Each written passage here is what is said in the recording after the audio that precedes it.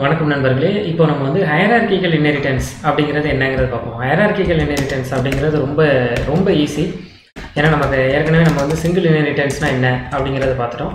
ஒரு அப்பா அம்மாவுக்கு எத்தனை குழந்தைங்க இருக்கலாம்? இதுதான் கேள்வி. ஒரு அப்பா அம்மாவுக்கு எத்தனை குழந்தைங்க வேணாலும் இருக்கலாம். ரெண்டு குழந்தை இருக்கலாம் மூணு குழந்தை இருக்கலாம் நாலு குழந்தை இருக்கலாம். அதே தான் அப்போ சிவகுமாருங்கிற கிளாஸை எத்தனை தடவை எக்ஸ்டெண்ட் பண்ண முடியும்?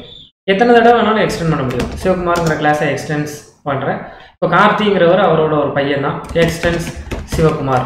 அப்படின்னு போட்டுக்கிறேன் அவ்வளோதான் சிவகுமார்னு ஒரு கிளாஸ் இருக்குது அந்த கிளாஸை எக்ஸ்டெண்ட் பண்ணி கார்த்தின்னு ஒரு கிளாஸ் இருக்குது அப்போ சிவகுமாருக்கு சூர்யாங்கிற ஒரு ஒரு சைல்டு கிளாஸ் அதே மாதிரி சிவகுமாருக்கு கார்த்திங்கிறவர் இன்னொரு சைல்டு கிளாஸ் இதுதான் hierarchical inheritance one parent class many child class one sing single parent many child many children இதுதான் வந்து ஹையரார்கிக்கல் இன்ஹெரிட்டன்ஸ் அப்படிங்கிறது.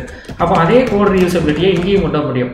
கார்த்தி அப்படிங்கிற கிளாஸுக்கு கார்த்தி ஓபிஜே அப்படிங்கிற ஒரு ஆப்ஜெக்டை கிரியேட் பண்ணுறேன் நியூ கார்த்தி அப்படிங்கிறத கொடுக்குறேன்.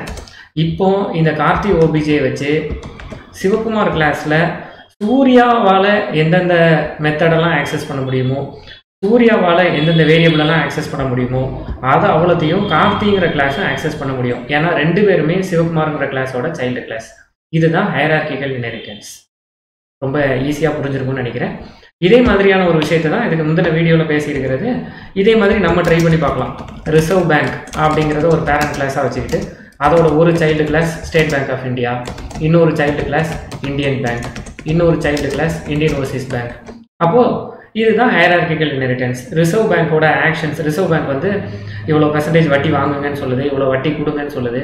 இந்த மாதிரியான ஆக்ஷன்ஸ் எல்லாம் அது டெஃபைன் பண்ணி வச்சிருது அதை சைல்டு கிளாஸாக இவங்க எல்லாரும் இருக்கிறதுனால இவங்க எல்லாரும் அதை ஃபாலோ பண்ணுறாங்க அப்படின்னு நம்ம சொல்ல முடியும். இதுதான் ஹைரார்கிக்கல் இன்ஹெரிட்டன்ஸ் இன்னும் multi level inheritance multiple inheritance இதெல்லாம் அடுத்தடுத்த வீடியோஸில் பார்ப்போம். நன்றி வணக்கம்.